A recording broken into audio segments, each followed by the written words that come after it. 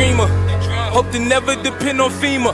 Heart dark as the waters of Katrina. Have you seen her? Life's a bitch with the music in between her. Nothing sweeter. Lux in your speaker. Soldier, copy me cleared in the screener. Reach my zenith through limousines on the zenith. It's seen on my mama's screen. A Mercedes Benz or the Beamer. Profit for preachers, pockets, pews or the bleachers. Yeah. Where do you get shot for sneakers? The shell tops ain't Adidas. My mission is strictest. That's why I'm in position with my guy who got convicted on the line from the prison. He said, Talk to me. Uh-huh. On the phone, inventing visions, mental collisions, intuition seeming like premonition. What up, YouTube? This your boy Down Low back for another reply. But before then, let's talk about something that's going on in the music industry, man. So, did you guys see the trailer of the Yeezus movie? In which Kanye went and got Hype Williams and they gonna do pretty much a concert movie, man, and put it in the actual theaters. And you know, that sounds like it'll be pretty fucking dope. As long as Hype Williams cuts out all of the bullshit raps. But besides that, sounds like a fucking winner to me. But anyway, on to today's reply, it's to that Diddy featuring Rick Ross, that big homie. And you know, this was absolutely fucking terrible. Like, come on, Diddy. You know better than to put this bullshit out. Like, and here's the thing. It is completely obvious that Rick Ross ghost wrote this shit for Diddy.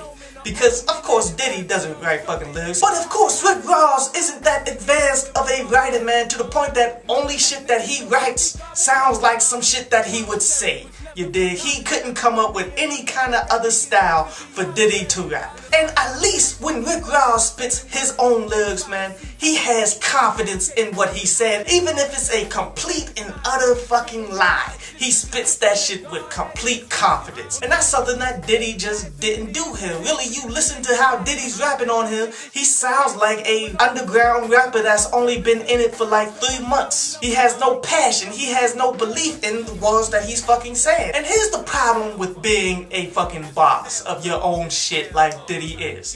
Who the fuck is gonna question him? Who the fuck is gonna come to him and tell him, you know what, dog? You probably shouldn't put this shit out, Diddy. No fucking body. But anyway, on to today's article from downlopaz.com. And actually, this song plays into the article, man, in which the article was about offending people. See, here's the thing. A lot of people are so afraid of offending others, man, that they just go along with the bullshit. See, most of these people like, okay, this guy has the potential to be somebody. He could actually shine in this industry, and I don't want to get on his bad side. So let me try not to offend him, man. Let me go ahead and just co-sign whatever he's saying to keep him in my good graces. Now let's face the reality of this situation. First of all, you are crippling them by not telling them the fucking will. Therefore, they're not going to see the success that you hope they will fucking see.